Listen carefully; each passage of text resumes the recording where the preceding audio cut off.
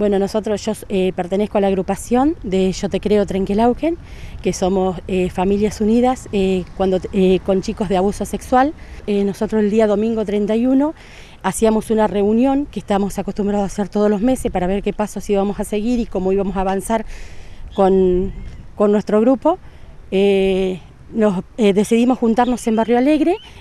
cuando yo llego, nos habíamos quedado en juntar a las 4 de la tarde, yo llego 4 menos 20 de la tarde en un momento, mientras esperaba a las madres, que diviso que venían dos mamás eh, a 50 metros, venían ya caminando, eh, empiezo a ver gente que llega a una mesa más o menos a 10-15 metros de donde yo estaba, un montón de chicos con mochila, moto, todo. En ese momento, eh, dos chicos se apersonan más, más, más llegando hacia mí, trayendo un banco, y una persona que queda mirándome parada fija, yo no la reconozco porque en realidad no conozco eh, lo conozco solo por foto, que es el violador de mi hija.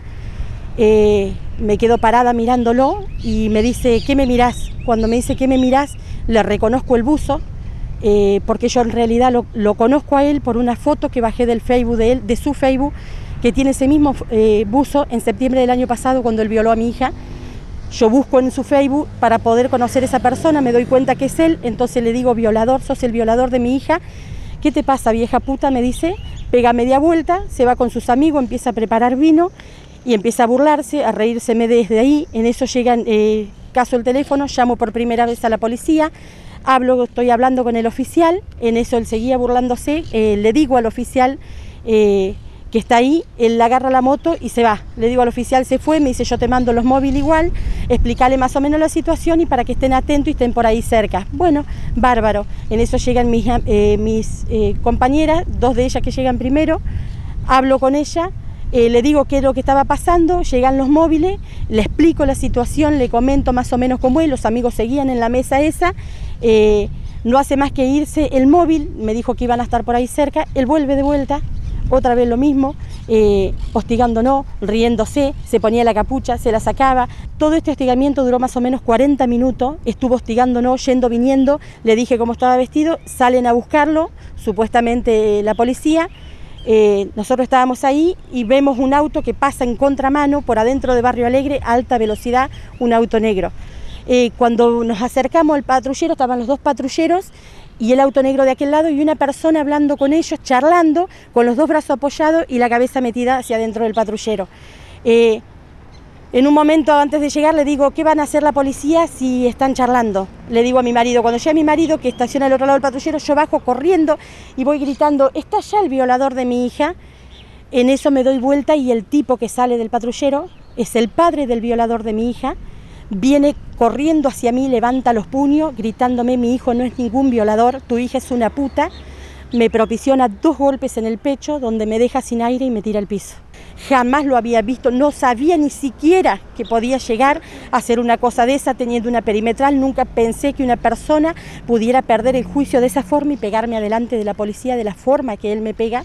Y la policía la única excusa que me da es que lo superó la situación eh, con una sola persona violentándome de esa forma, lo, superó la situación y que el hijo se les había escapado, que donde le pasó el alambre eh, ellos no lo podían correr. Esa fue la respuesta que a mí me da la policía. Voy a la comisaría de la mujer, me lleva a mi esposo, una denuncia con mucha falencia donde dice que mi esposo toma la denuncia junto conmigo al lado, que es el testigo, que lo hace firmar como testigo, lo cual mi esposo lo habían dejado en la vereda, jamás lo dejaron pasar. El día lunes, como seguía todo en la nada, me presento a las 8 de la mañana, hablo con el fiscal, que justo el fiscal que toca en esa causa es la UFI 5, es el fiscal que lleva la causa de abuso de mi hija también. Eh, bueno, él ahí me dice que no estaba enterado de nada, que si iban eh, ahora, que le diera tiempo, que esto, que el otro. Y a mí no me alcanza. Como mamá eh, que estoy viviendo esta situación, con el temor que tengo de ser o sea, de que esta gente tome represalia y que pueda llegar lastimando a mi familia, matándonos, porque en realidad sus palabras fueron esas.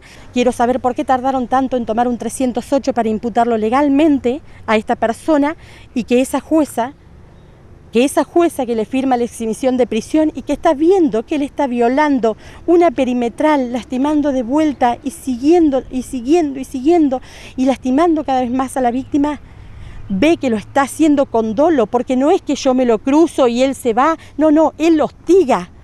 y tal como estuvo ahí 40 minutos sin importarle quiénes había, si había testigos, si no había, estuvo 40 minutos hostigándonos hasta que el padre llegó, nos golpeó y se fue. Eh, mi hija tiene problemas de salud graves, eh, tiene muchas hemorragias, eh, se le ha empezado a caer el pelo, tiene erupciones en la piel debido al estrés y es insostenible adentro de las puertas de mi casa y ahora entiendo cuál es el dolor de mi hija y cuál es el miedo que ella tiene, porque ese mismo miedo fue el que ellos me provocaron ese domingo. Esa misma impunidad que te dicen anda y denunciar. ¿Qué voy a hacer con denunciar si la misma policía que es la que me tiene que defender? Ahora me piden un botón antipánico con una perimetral. ¿De qué me sirve un botón antipánico si me van a llegar a defender policías ineficientes?